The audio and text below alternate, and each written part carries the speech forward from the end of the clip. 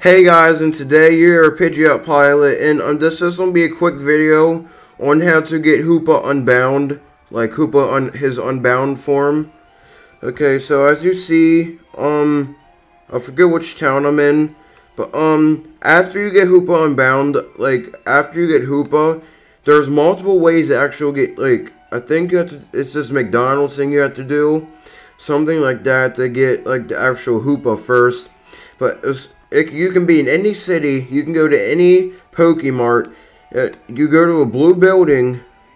Okay, um, not not the red one right here.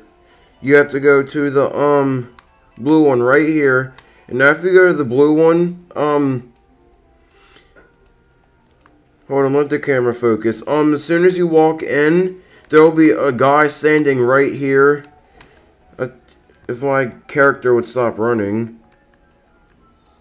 There'll be God standing right here, and they'll tell you a story about how an old man brought in a bottle and and it's uh, it tell he talks about how an old man brought in a bottle to him and offered all the goods in the store, and at the end of the story, he'll give you a bottle that looks just like Hoopa, looks like Hoopa Unbound, and after yeah he'll give it to you, then you just go to your um um, bag.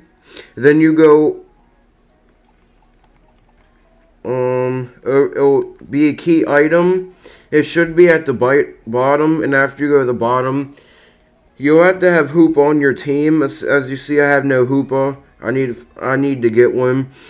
You'll see an item down there that'll say it will be a bottle. It'll, if you don't know what Hoopa Unbound looks like, it'll look have like two horns on top with like have a circle in the middle. It's like a donut, a donut with a stick on top of it. You'll click on that, you'll hit use, and then, oh my god. And then after you do that, you click use, and then you click it on Hoopa, and then it switches Hoopa to its unbound form, but it only lasts for three days, so after the three days is up, it ends. Kind of like with Kyurem, with the DNA fuser with like Reshiram or Zekrom. It doesn't last for three days, but you have to go in your key items, and you don't lose the bottle. So after the three days, you can re-put it back into Hoopa Unbound form. And if you want to teach a Hyperspace Fury, um, yeah, hi is it Hyperspace Fury? I'm pretty sure it's Hyperspace Fury. Um, you have to have a, what's that heart called?